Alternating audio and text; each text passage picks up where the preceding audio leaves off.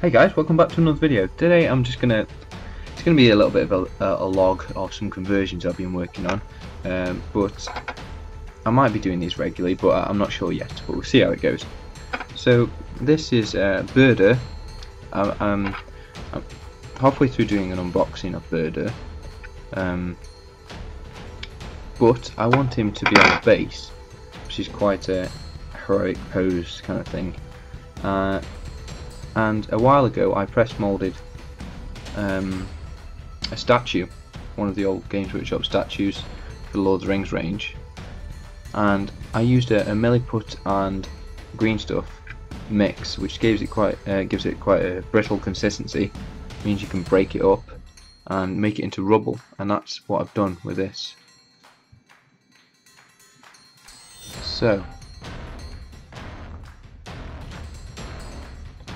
This is um, something I've been wanting to do for a while, but it looks really good. Uh, I like the um, how the chips have come out. Um, however, being a metal model and a cave troll, it's quite a single pose on the legs. So I've got the saw, used to um, cut down his leg, but not gone all the way through um, because I've left the other side. So I've been able to bend it.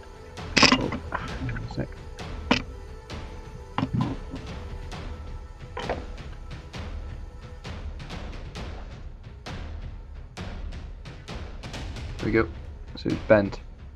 Uh, I've got a bit of touching up to do because I, I've damaged his leg a little bit. However, that will be able to go on like that into the base. So I'll get that all glued up and fixed up and built and I shall see you uh, in a second.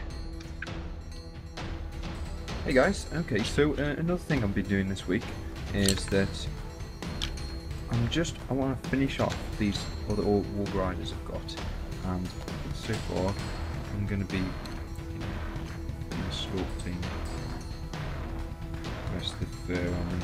But I've got this Gothmog but I also want to get the other one, um, which is, I know it's unavailable, but it's, uh, I know someone who's got it, so I'll be getting that. Um, but I want to convert this guy so he's carrying a shield. But I don't want to just stick a shield. So what I'm going to do is I the foot model here.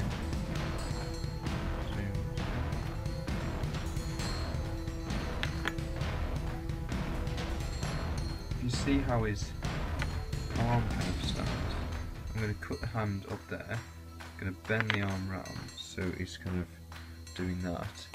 And the same with the guy on horse, on, on warg, sorry. Um, just so it doesn't look like the shield's just been stuck on. But you'll probably see in a second how if or if I've achieved that.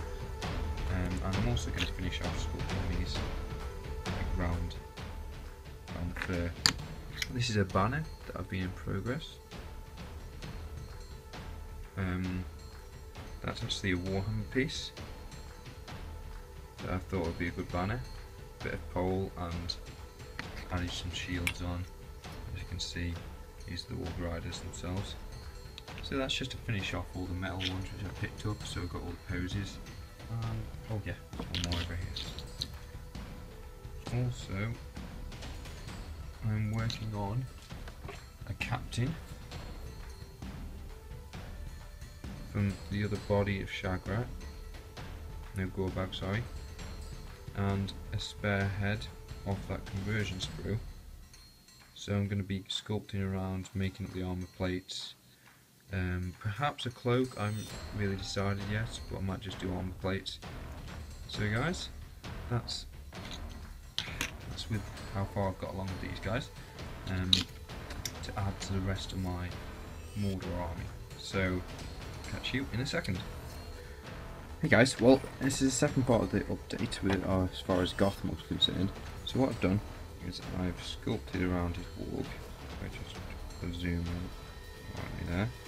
So I cut off his hand which was attached to the wall and pulled it up, added a Goblin Town hand, um, sculpted around, just make sure we're filling all the gaps.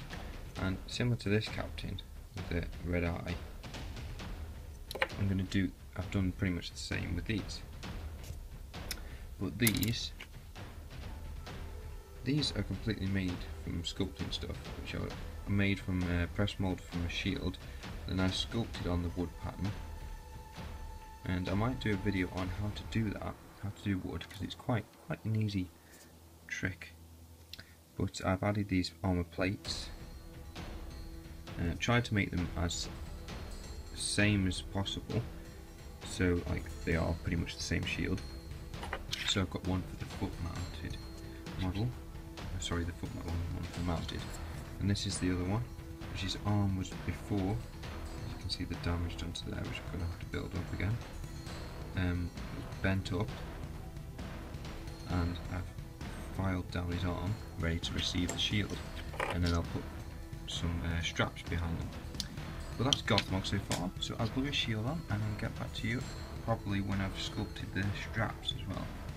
So guys, here we go, let's just have a closer look.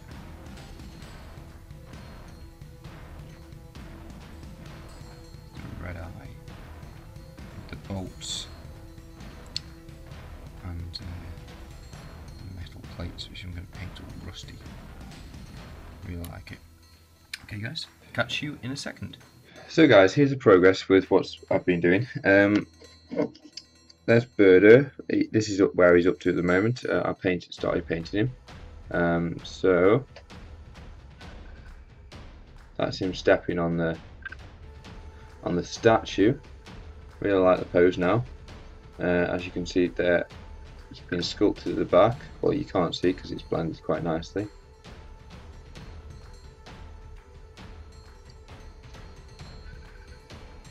There we go. So there's little rough patches up there, actually sculpted. And the finished Gothmog, is glued on. Straps are all done. So I really like this now. With the shield, it just looks quite menacing. Uh, quite an interesting shield design as well. Will make him stand out from the, the regular troops. And I put him onto this base as well. So that's it. So, guys, thanks for watching, and I'll see you in the next video, which I'm going to do a spotlight on my orcs and converting orcs, and basically, when you have lots of orcs, what do you do to make them not look the same? So guys, thanks for watching again, uh, take care of yourselves, and I'll see you in the next video.